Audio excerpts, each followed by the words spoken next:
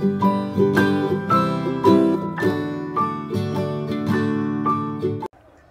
are selected your posting is in Kakinada ఈ విషయం అర్జెంట్గా అమ్మాయి చెప్పాలి.